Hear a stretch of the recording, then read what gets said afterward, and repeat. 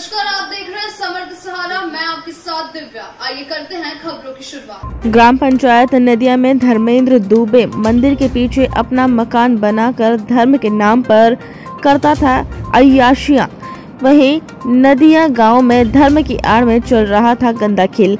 साकेत धाम के नाम से आश्रम बनाकर बाबा लगता था दरबार भक्तों का कष्ट दूर करने के नाम पर करता था शोषण भास्कर न्यूज़। चैनल की टीम ने किया खुलासा।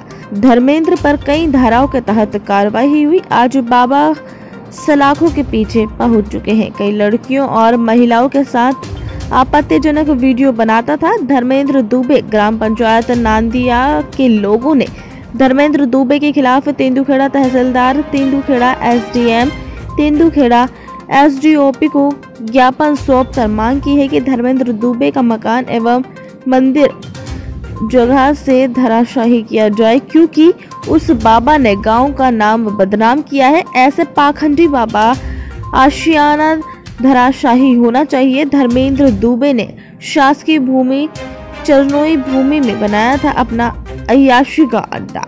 श्री राम दुबे। इसने अतिक्रमण करके शासकीय भूमि पर अपना कब्जा जमाया और वो पंडित हैं। वहाँ पे उनने अयासी का अड्डा बना के रख लिया। और इसके साथ साथ वो गाँव वालों के लिए मुसीबत का कारण बन गए। वो लड़कियों का शोषण करता है और पुख्त उसके ऊपर कार्रवाई की गई है। उसके परिवार में कितने लोग हैं वहाँ पे?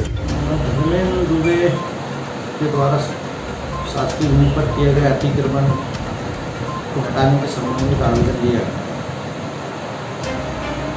सर तो क्या कार्रवाई? उसमें पहले से प्रकरण दर्ज है और अतिक्रमण में सुनवाई के लिए नियत है। तिथि जवाब आ जाएगा जवाब के बाद फिर उसमें जो नेक्स्ट प्रोसेस है उसके अनुसार कार्रवाई करेंगे। वही लोगों का कहना है कि धर्मेंद्र दुबे के द्वारा सरपंच और अन्य ग्रामीणों के खिलाफ दास के पिताश्री श्री राम दुबे ने हम लोगों के विरुद्ध शिकायत की है। कलेक्टर के यहाँ और थाने में जाकर ये लोग हमको प्रताड़ित कर रहे हैं, गाँव से भगाने की धमकी दे रहे हैं, मारने की धमकी दे रहे हैं। जबकि ऐसा हम लोगों ने या किसी ग्राम ग्रामवासियों ने कुछ नहीं किया है। सारी झूठी